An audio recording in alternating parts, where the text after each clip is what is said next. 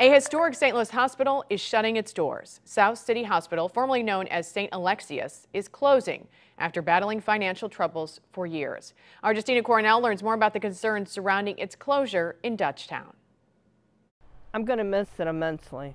I really am. For 59 years, Donna Puckett neighbored a century old center.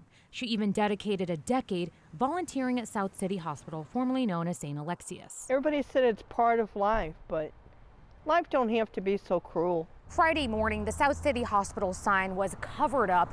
It's a clear sign of its closure. My understanding is that the receiver was notified uh, earlier this week, Tuesday or Wednesday, and so they started taking all of the appropriate actions that they needed to do to notify the employees, uh, vendors, and other hospitals that we need to start transferring current patients. On Wednesday, an internal email said the financial deficit was deemed too much, and obtaining other parties was not realistic to keep the 178 bed facility open, and it would be transferring patients. I think it's going to take away a lot whenever it leaves.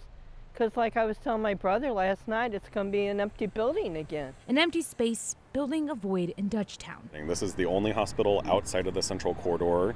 This is the only emergency room in Southeast City, and it's another emergency room that's closing. Behavioral Health Response Chief Clinical Officer said it's sad to see it go. Over the years, St. Alexius and uh, eventually South City came, became an expert in geropsychiatry, and so serving uh, an older population. There's not a lot of hospital options in that part of St. Louis City, right? So that's going to be a blow to the community as well. They really kind of filled a safety net niche right there in that region. For Puckett, it's a pivotal place. My father was a patient in and out of there for probably about 15 years. As the hospital leaves, Puckett also takes with her the memories. I was thinking last night about going over and taking some pictures of the hospital, but I want to remember the hospital the way it was.